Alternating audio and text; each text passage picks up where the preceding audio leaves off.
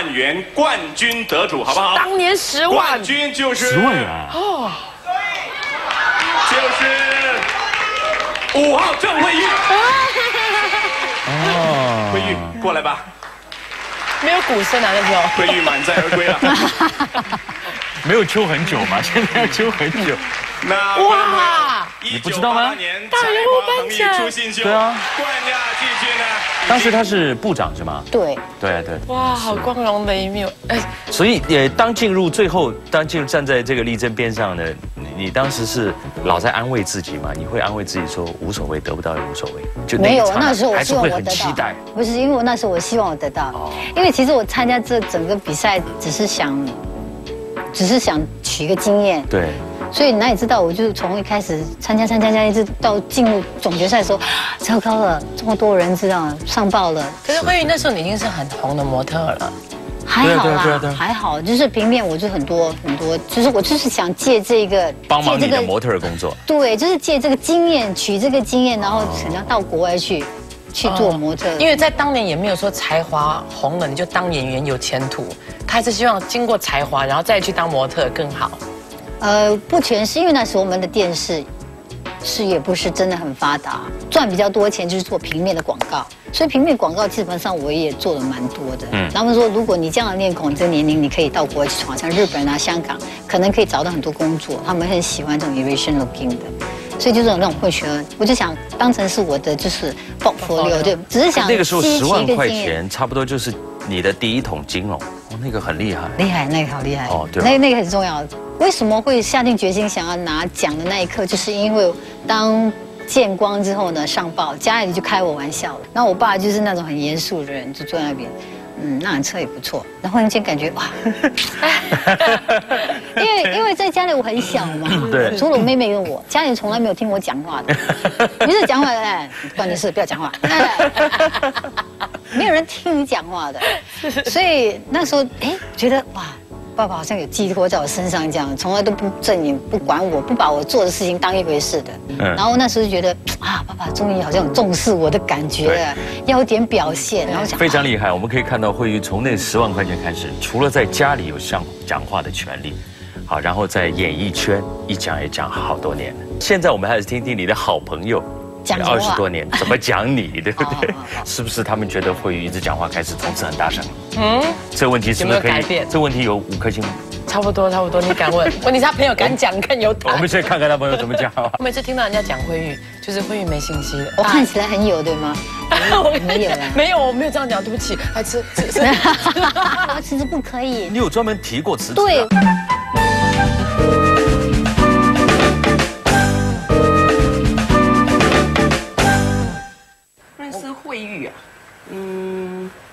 概有二十20年。二十呀。不止啦。我刚认识慧玉的时候，我我觉得她是一个很独立，她她是一个很独立的啊、女孩子。对朋友啦，她是一个很很很讲义气，嗯，啊，有爱心、嗯，孝顺，很真、很真的一个，嗯嗯，一个她的性格。她不假，她不假，不假。她喜欢，她会告诉，她会跟你讲他喜欢或者不喜欢，他也会马上给你知道他不喜欢。也许很多人可能不会相信为什么这么完美，他是就是这样完美，嗯，所以我们可以跟他做朋友这么久。嗯，完美。我给钱了，我给钱了，呃我觉得也是哎，真的，二十年的好朋友讲你就是真的很多年的好朋友。尤其是左边那个 Chris，是我入行时，他是在里面算是资深的，算是蛮有地位的。因为你会不会你你的一路上走得很顺遂，所以你这个人也没什么心机。我每次听到人家讲慧玉，就是慧玉没心机的，也没有什么。我看起来很有对吗？我没有啦没有，我没有这样讲，对不起，还吃吃吃。我刚刚表扬你，刚才你这个问题有五颗星，你来不及就可以擦掉。我们还是从第一部戏开始，你熟悉的哈，你还记得第一部戏是什么吗？当然记得窈窕淑女淑女哈，很多人都很印象都很深。那部戏你觉得呃对你来说很大挑战吗？因为刚开始真正接触对吗？我觉得不是演技上的挑战，那基本上我根本在那个时候完全是不懂谈不上。是。对，我觉得挑战对我来讲，它的那个工作的压力，它的时间是每天都要来上班，要记稿，要走台位，然后就一团大家都属于好像幼稚班一样说，哎呀，大家一起走，大家然后啊对望，哎这样看被人就对望了，真的被人骂吗？没有，第一部戏没被骂，过后就骂了。哦过后反而被对，。第一部戏因为都是我们这一届的人，一起的就是专为这一这我们这一届才华，第一届才华啊，量身定做而。量身定做的戏，大家都属于同，就是戏里面我们为主嘛，你骂我们有没有人听不懂。对，我们大家本本来就是不懂就是不懂。然后过后我们也是呃，就是各部各部那个一个镜头一个镜头拍，所以台词也不用一次记到完。嗯。所以当大家后来拍完这部戏分散之后。进去场景别的戏，你会啊？为什么他们可以整段台词三四遍一次讲到完？那时候就压力来了。嗯先来回味一下这个窈窕淑女。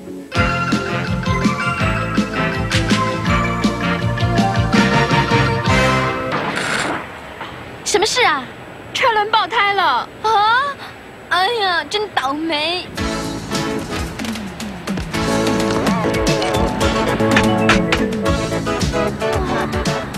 算换好。桂花，你果然是行啊！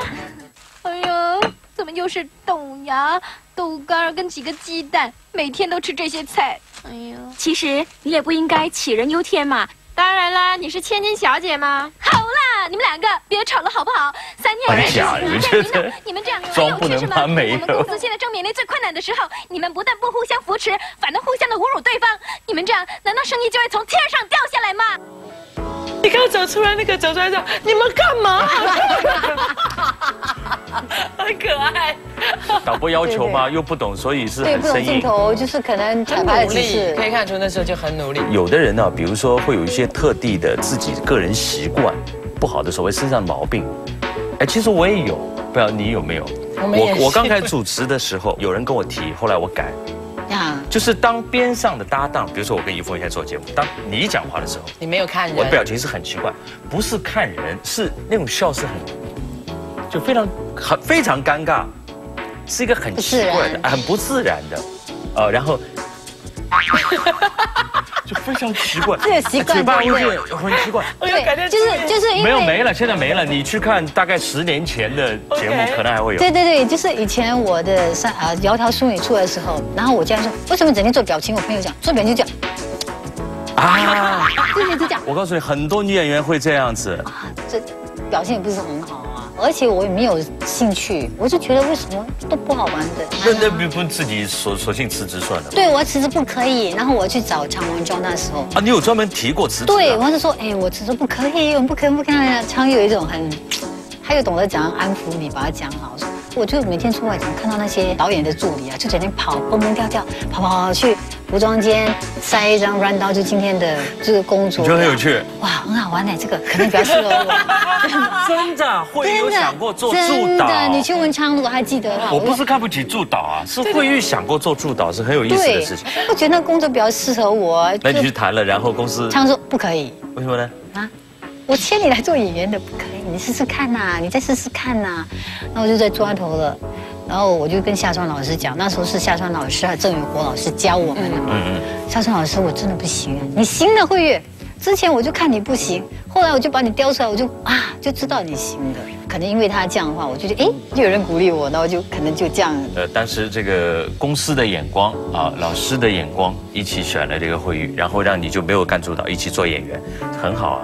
所以呢，就有接下来三面下挖，就给大家很大的影响，印象很深刻也算是一个代表作。演技性的大突破。对对对，三面下弯，我们。